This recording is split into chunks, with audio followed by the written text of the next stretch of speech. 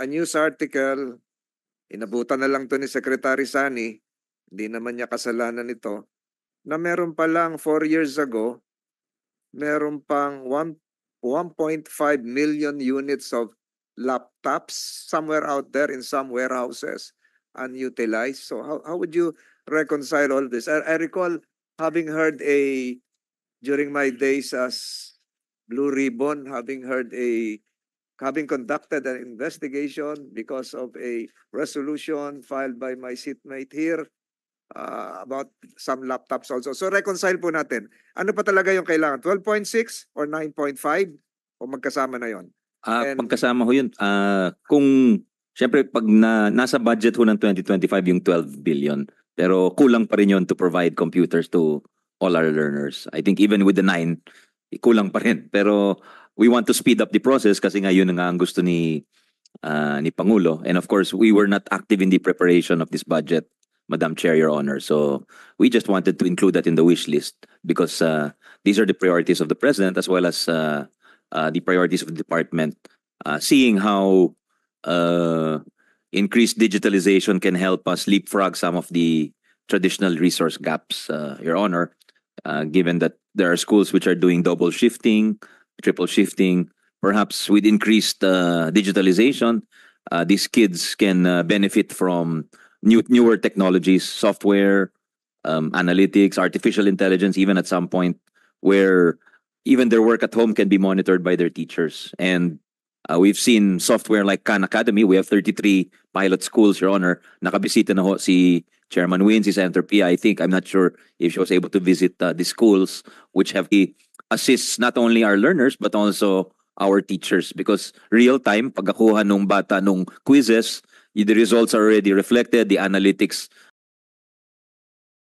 uh, reflect the information yung performance ng bata compared to last year his performance compared to his class uh, and uh, it, it, it can also the the newer Khan software the Khan Migo that's the AI tutors artificial intelligence tutors. Parang may teacher na yung bata kahit uh, may shortage tayo ng teachers uh, with the this can help supplement some of these resource gaps your honor. So kasi parang hindi maganda yung naging uh, karanasan natin nung pandemya na the digital divide was accentuated. Parang we were giving learning modules but really hindi natin na monitor kung natututo yung bata habang nasa uh, bahay siya. And I note that uh, the chair was a big big uh, factor into the return to schools as well. Both chairs uh, the chair of the subcommittee as well as the chair of the basic education committee were very adamant that our kids must return to schools in 2022 I remember.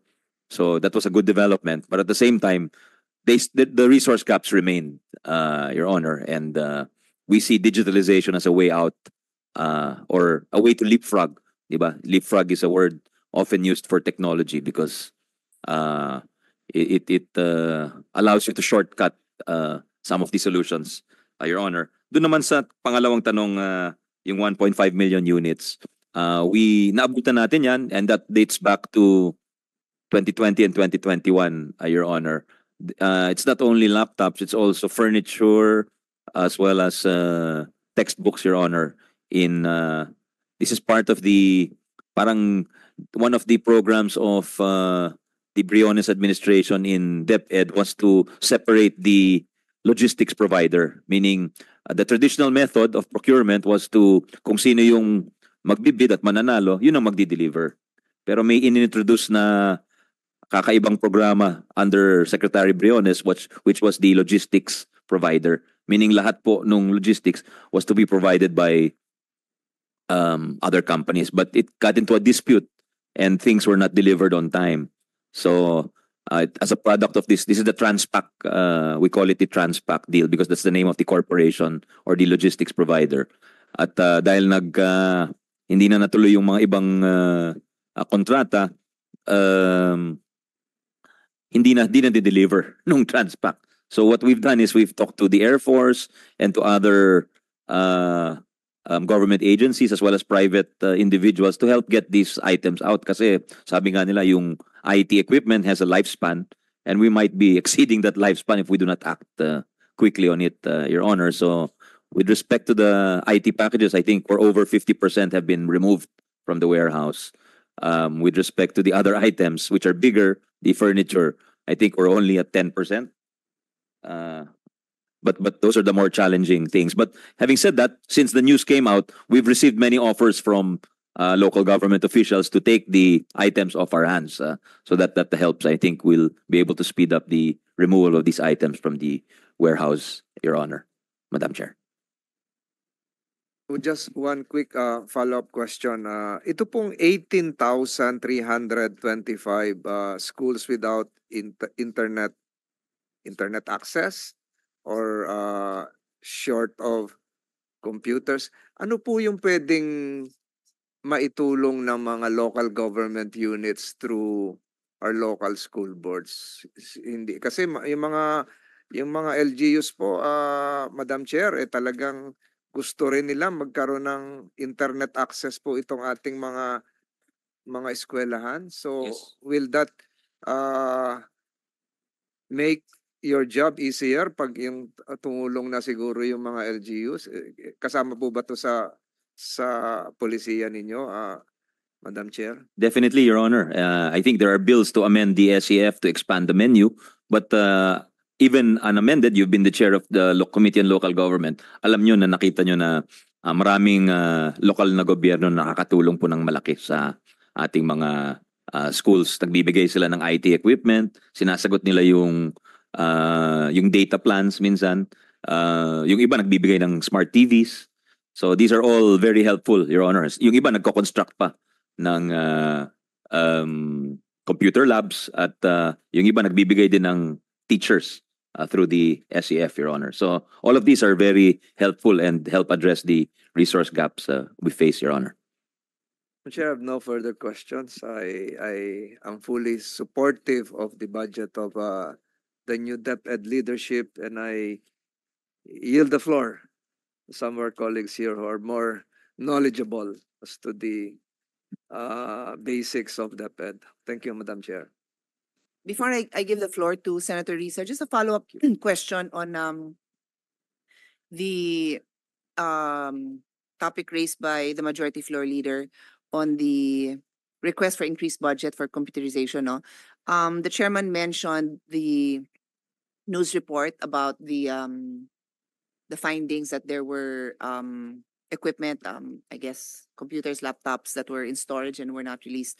So if we're able to find additional budget for for the request, um, is his is his honor fairly confident that these issues that founded the previous leadership, um, you have you have staff and uh, um, a plan in place so that you know we can address it because we're very happy to support, as you know, um, but we we know that logistics is a logistics warehousing is really is really an issue. I mean, it's it's something we probably don't think about too much. You know, we think if you have the funding, it's as simple as that.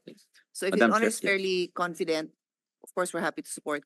Yes, uh, yes, Madam Chair. I think with the some of the reforms we'll be putting in place, I think we can prevent a repeat of some of these uh, occurrences. First of all, as a major policy, we're no longer adopting that uh, that uh, innov- innovation of having a separate logistics provider. I think it's much simpler to revert to the old system where the winning bidder uh, or supplier is the one who has to provide the delivery, Your Honor. And given that we're going to engage in early procurement activities, uh, they also have to take care of the warehousing and the delivery uh, in such a way that uh, we provide enough allowance for them to give enough time for them to develop to deliver uh, come the first day of school in 2025 uh, but also uh, to manage their their time for their deliveries uh, because we don't we don't want that to be a problem of the department your honor. So we under under the new contracts and the new biddings to be undertaken dapat sagot yon ng mga suppliers your honor. Hindi na we I think it, it's an it, it was a, a unnecessarily complicated uh,